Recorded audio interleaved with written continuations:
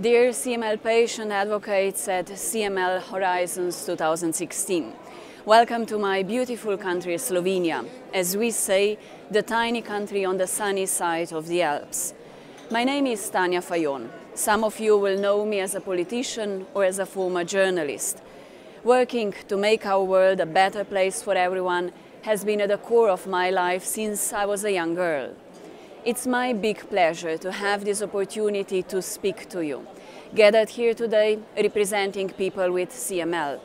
I'm one of them too. In 1995, when I was a student, the doctors diagnosed me. I have a chronic myeloid leukemia. One can imagine the shock I felt hearing the news and all the ups and downs that followed in the years to come. I was fortunate to survive and be fully cured. This was without a bone marrow transplant, but with Glivec, the cancer treatment drug that I was privileged to get in time. One cannot describe all the things that we as patients get to experience. It's a permanent battle. It is a battle for life, for best access to the medical care and medications, and for information.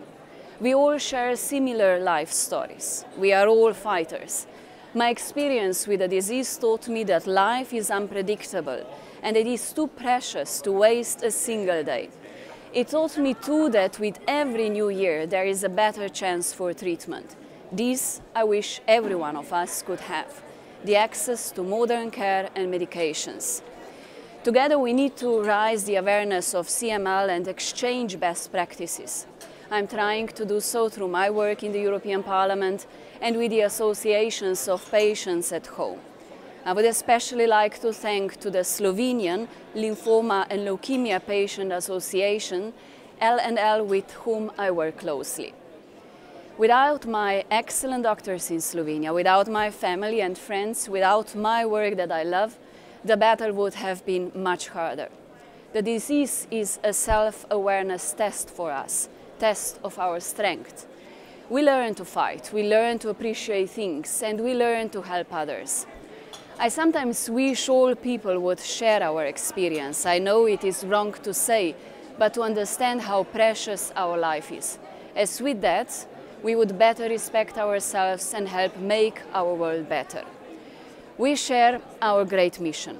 We all want to do our utmost to improve survival chances and quality of life for leukemia patients. We must strengthen our forces as leukemia survivors to be true advocates in our support to other patients on a day-to-day -day basis. I wish you an interesting conference, a great opportunity to learn and exchange, an opportunity to network and create. Our commitment and determination can really make a difference. I welcome you once again in Ljubljana to CML Horizons 2016.